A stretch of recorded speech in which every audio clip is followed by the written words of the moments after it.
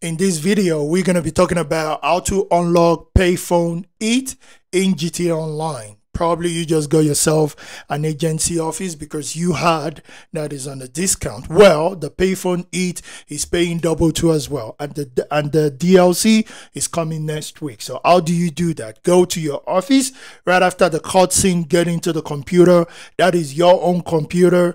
After that, then what you need to do right after that is to launch the security contact missions three times three times to unlock the security contact missions. You can pick the same contact mission over and over and do it over just to unlock the pay eat pay eat uh pay uh payphone eat in GT Online. So don't get it twisted. That is a simple way of unlocking the payphone it. First, get yourself an agency office, browse through the computer, get the security contact, and do it three times. Don't forget that we have a cooldown time in between, and it's five minutes cooldown time.